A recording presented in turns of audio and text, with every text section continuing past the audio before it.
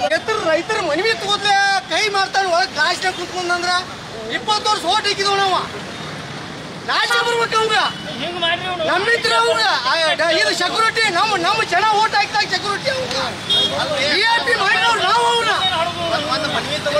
ಒಂದು ರೈತರ ಕೆಳಗಿಳಿಸಿದಂತ ಅನಂತ್ ಕುಮಾರ್ ಹೆಗಡೆ ಅವರಿಗೆ ಆತ ನೀವ. ರೈತರ ಮನವಿ ಅನ್ನೋದಕ್ಕೆ ಅನಂತ್ ಕುಮಾರ್ ಹೆಗಡೆ ಅವರಿಗೆ ಬೇಕೇ ಬೇಕು ರಾಜಕೀಯ ಎಂಪಿಗೆ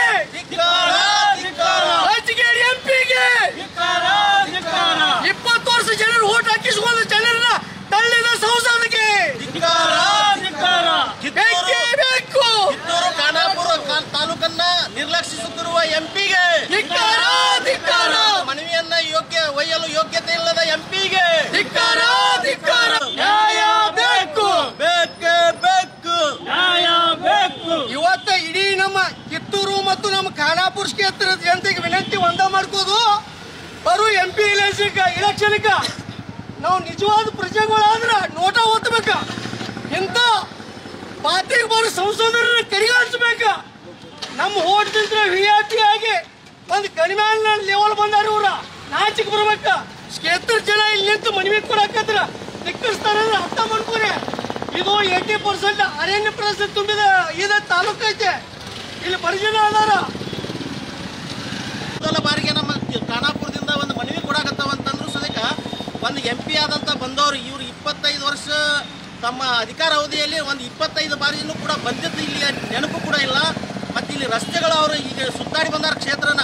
ಈಗ ಇನ್ನೇನ ಕೆಲವೇ ದಿನಗಳಲ್ಲಿ ಎಂ ಪಿ ಇಲೆಕ್ಷನ್ ಬರುವ ಮುಂಬರದ ಇದರಲ್ಲಿ ಇಲ್ಲಿ ಪೂರ್ತಿ ಈಗ ಕ್ಷೇತ್ರ ಅರಿವಾಗಿ ಇಲ್ಲಿ ಬಂದೈತೆ ಅಂತಂದ್ರೆ ಎಷ್ಟರ ಮಟ್ಟಿಗೆ ಇವರು ಜವಾಬ್ದಾರಿಯುತ ಒಂದು ಒಂದು ಪ್ರಜೆಗಳಿಗೆ, ಒಂದು ಮತದಾರರಿಗೆ ಎಷ್ಟರ ಮಟ್ಟಿಗೆ ಒಂದು ಬೆಲೆ ಕೊಡುವಂಥ ಒಂದು ರೈತರಿಗೆ ಇರ್ಬೋದು, ಮತ್ತು ಇನ್ನಿತರ ಸಂಘ ಸಂಘ ಸಂಸ್ಥೆದವ್ರಿಗೆ ಇರ್ಬೋದು, ಬೆಲೆನೇ ಇಲ್ಲದಂಥ ಪರಿಸ್ಥಿತಿಗಳು ಇಲ್ಲ ಅಂದ್ರೆ ನಮ್ಮ ಕ್ಷೇತ್ರದ ಇವ್ರಿಗೆ ಓಟ್ರೆ ಎದಕ್ಕೆ ಬೇಕ್ರಿ?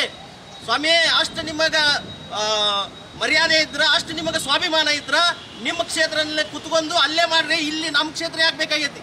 ಕಿತ್ತೂರು ಹಾಗೂ ಖಾನಾಪುರನ ಈ ಪರಿ ಕಡೆಗಣಿಸ್ತಾ ಇದ್ದಾರೆ, ಮಲ್ತಾಯಿದವ್ರನ್ನೇ ತೋರಿಸ್ತಾ ಇದ್ದಾರೆ. ಇಲ್ಲಿ ರಸ್ತೆಗಳ ಅಭಿವೃದ್ಧಿ ಇರ್ಬೋದು, ತಾಲೂಕಿನ ಕ್ಷೇತ್ರದ ಅಭಿವೃದ್ಧಿ ಇರ್ಬೋದು, ಯಾವುದೂ ಇಲ್ಲ. ಈ ಬಾರಿ ಬರುವ ಇಲೆಕ್ಷನ್ದಲ್ಲಿ, ಚುನಾವಣೆಯಲ್ಲಿ ಇದಕ್ಕೆ ತಕ್ಕ ಪಾಠ ಮತದಾರರ ಕಲಿಸ್ತಾರೆ ಅನ್ನೋ ಮಾತನ್ನ ಈ ವೇದಿಕೆ ಮುಖಾಂತರ ಹೇಳ್ತಾ ಇದ್ದೀವಿ. ಬಿಜೆಪಿ ಸಂಸದ ಒಬ್ಬ. ಹಾ, ಇಲ್ಲಿ ಜನ ಭತ್ತ ಏಯ್ಟಿ ಪರ್ಸೆಂಟ್ ಬೆಳೆದಕ್ಕೆ ದನಗಳು ಹುಲ್ಲಿಲ್ದಂಗೆ ನರಳತ್ತಾರ ಮತ್ತು ಅವರು ನಮ್ಮ ರೈತರ ಮನೆಗೆ ಹೋಗಿ ಚಾ ಕುಡಿದು ನೀವು ಬರ್ತಾ ನೀವು ಯಾವ ಯಾವ ನೈತಿಕತೆ ಐತೆ ಅಂತೇಳಿ ಹೋಗಿ ಬಂದರು. ಹಾಂ ಕೇಂದ್ರ ಕೇಳಿ, ಇಲ್ಲಿ ಏನು ಗಾಡಿ ಸಮಸ್ಯೆ ಇರ್ಬೋದು, ನೀರಿನ ಸಮಸ್ಯೆ ಇರ್ಬೋದು, ದನಗೋ ಸಮಸ್ಯೆ ಇರ್ಬೋದು, ಇಲ್ಲಿ ಆಫೀಸ್ಗಳನ್ನ ಸಮಸ್ಯೆ ಐತಿ.